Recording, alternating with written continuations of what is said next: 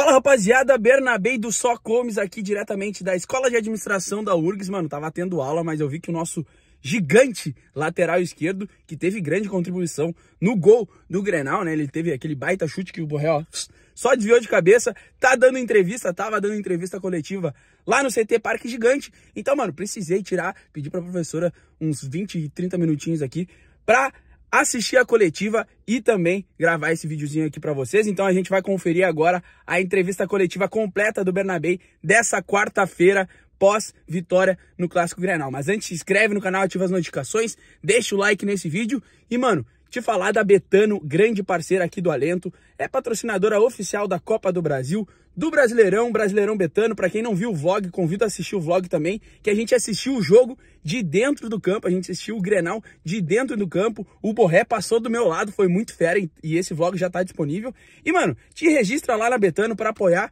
o trampo aqui do Alento no link do primeiro comentário fixado com o código Alento Colorado que tu vai ganhar até mil reais de bônus no teu primeiro depósito. Valeu? Tamo junto e agora, bora acompanhar a entrevista do nosso lateral esquerdo, Alexandre Bernabé. Tamo junto. Bernabé, teu primeiro Grenal disputado com grande atuação e, e, esse entrosamento teu com a torcida do Inter, jogador que já caiu no agrado do torcedor, como é que tu tá vendo esse teu momento no Inter, esse carinho da torcida e o teu primeiro Grenal como jogador do Colorado? Primeiro, bom dia para todos. Eh, bueno, el primer Grenal creo que, que, para mí fue muy importante, ya que, que, uno no lo pude jugar y este que me tocó traté de aprovecharlo al 100% y de vivirlo desde, desde un principio.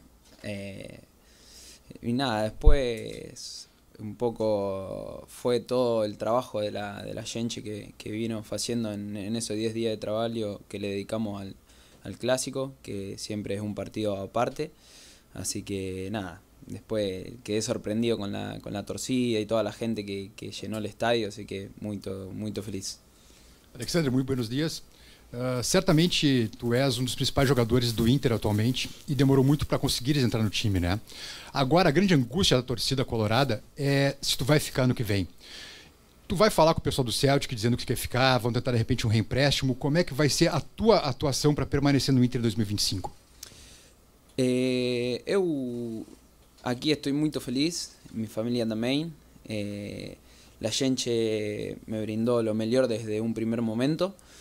Eh, creo que el tema de la negociación, eso se, se encarga mi agente.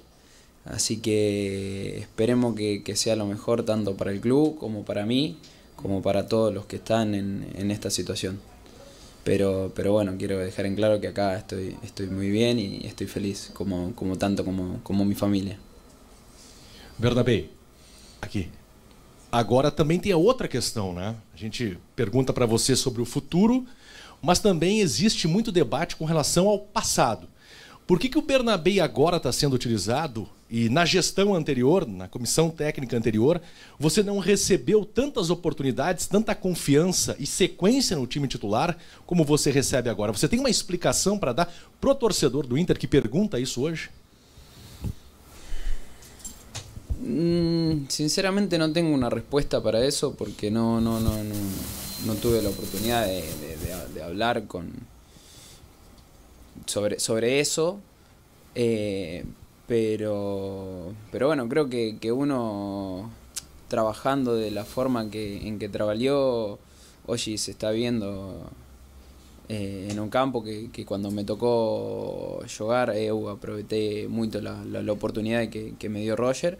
Así que después de, de, de, del pasado no, no, no, no, no hago mucho hincapié porque no eh, trabajaba para lo que venía, no, no, no para lo que, lo que pasó. Bernabé, é, desde que o Roger chegou e você começou a ganhar essas oportunidades né, e a titularidade agora, é, como foram a, a, no primeiro dia a conversa do Roger contigo? Porque pegando ainda na linha do que o Jason disse, né, que você não vinha ganhando oportunidades, depois ganhou para se tornar é, titular. Como foi a, a, conversa do Roger no primeiro dia dele aqui no clube, ou a primeira conversa que ele teve contigo, para saber como tu estavas e, e, se ele te informou, se te falou que te daria mais oportunidades, queria te, te ver jogando no time? Eh, desde un primer momento se faló con Roger que, que, que bueno, eh, las cosas fueron francas, frontales, donde él, después de, de que eu entré el partido contra Central, Rosario Central, él faló que, que me iba a tocar a tener la oportunidad eh, eh, contra Bahía. Eh, más después en adelante lo que iba a acontecer no, no, no se sabía porque iba a depender mucho de, de- de mi actuación. Así que creo que, que ese fue un, un gran indicio donde, donde él me dio la oportunidad. Bernabei, bom dia. Tu falou sobre a tua participação, sobre a tua atuação no Clássico Grenal, e eu queria perguntar exatamente sobre isso, porque vimos, tanto durante quanto do- após o final do jogo, que tu foi talvez a figura mais enérgica do vestiário. Eu queria te perguntar como é que foi esse processo para entender a dimensão, o tamanho do Clássico Grenal, desde a tua chegada a Porto Alegre, como é que foi para entender o tamanho do Clássico aqui no Rio Grande do Sul? Creo que no, no, no, no es muy difícil entenderlo porque la semana de Grenal ya comienza desde, si se juega un sábado, comienza de segunda, porque vos donde vas a un supermercado, un shopping, lo que sea, ves la camiseta de, de Inter y, y de Gremio, así que no, no es muy difícil. Sabía lo que significaba y bueno, gracias a Dios se pudo dar y ganó la gente. Bernabé, bom dia. Agora o Inter pega o Atlético Mineiro e o Flamengo, que são dois clubes que estão envolvidos em decisões. O Atlético Mineiro na Libertadores e Copa do Brasil e o Flamengo na Copa do Brasil também. Como é que o grupo está se preparando para aproveitar esse momento onde essas equipes vão estar com a mentalidade em outras competições? No, el Chimi se viene preparando muy bien, el grupo viene trabajando mucho eh, y como siempre falamos que preparamos cada semana para cada partido, solamente para, para ganar. Bem, ah, uma questão, ainda voltando à questão anterior, eh, sobre essa questão de você. do- você falou do, do, do movimento da semana, do Grenal, que foi no mercado, mas ah, essa tua, esse teu eu- euforismo, essa tua, vamos dizer assim, pra- praticamente parece que tu vestiu o manto colorado já antes de vir para cá. Eh, em outras partidas também tu mostrou isso no nos bastidores. Teve alguma conversa com o D'Alessandro? E uma última pergunta. É, é a tua chance jogar no Internacional? É a tua maior chance na carreira? Eh, no, creo que, que mi, mi personalidad es así, de vivir en cada partido y, mucho más el clásico, eh, de, de esa forma, por, por supongo que por la energía que tengo, eh, lo vivo de esa manera. Eh, y después obviamente sí, sí, de Alessandro eh, no, no, no faló personalmente, mas para el grupo eh, aporta aporta mucho con esa eh, arenga que, que le dio y también todo el mundo está haciendo un buen trabajo para, para todos. Bernabé, aqui do lado. Eh, você já falou como é que foi o processo a partir da chegada do Roger Machado e eu queria entender um pouco mais porque eh, eu lembro que quando trocou ali de técnico, né, o Cudê pelo Roger, eh, circularam informações de que você poderia até eh, se transferir o Independiente, surgiu como interessado, não sei, não sei até se, se um outro clube apareceu também. Como é que foi esse processo no meio disso tudo?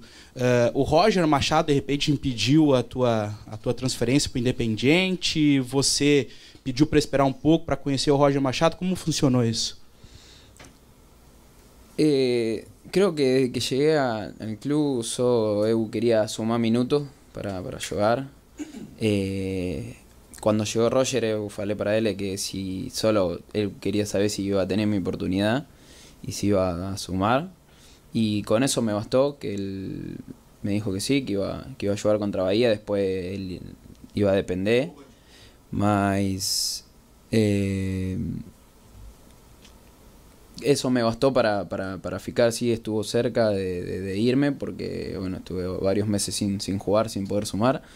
Eh, pero bueno, eh, tomé la decisión y, también eh, el cuerpo técnico y toda la dire- directoría me, me, me, hablaron para bien. Así que, bueno, acá estamos, aprovechando el momento. Bernabé, bom dia, tudo bem? O Roger Machado, em uma das suas entrevistas coletivas, chegou a dizer que tu ensinaria ele a atacar e ele te ensinaria a defender.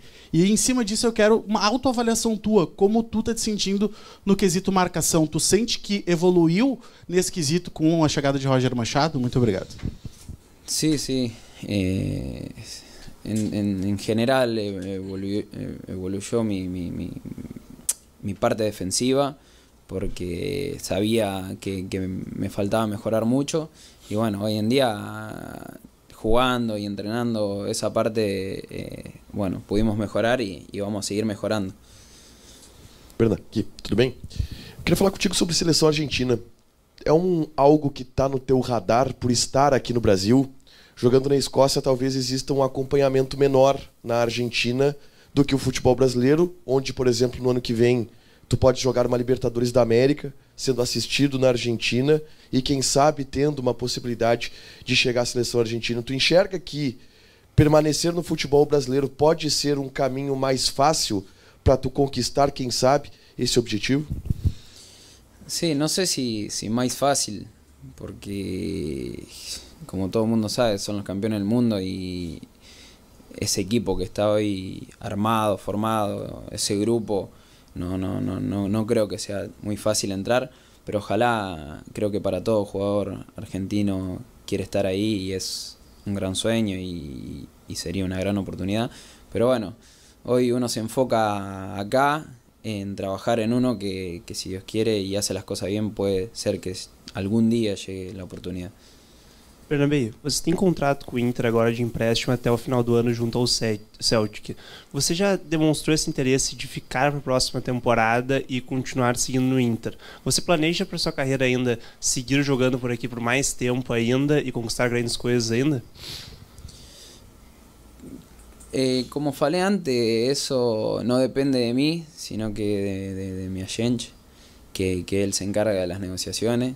Eh, yo sinceramente hago mi trabajo en el club y como falé, estoy muy feliz y, y mi familia también, así que yo creo que de acá en adelante hasta diciembre o enero se, se verá.